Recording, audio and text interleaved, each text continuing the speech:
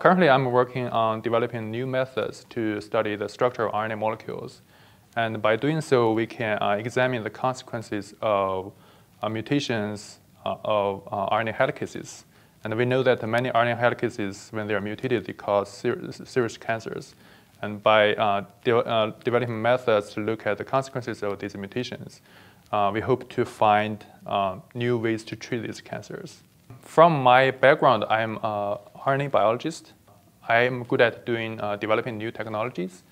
And uh, when I came here, I see this uh, problem in this field in uh, looking at uh, the mechanism of cancer uh, with uh, helicase mutations. So that's why I see that's why I see a place where I just fit in. I can directly apply my methods to these problems where they're difficult to study using conventional methods. Getting this award is a great encouragement on what I've been doing, and also it gives me the freedom to pursue you know, big picture ideas that are, um, you know, harder to, um, uh, very risky and hard to get funding for.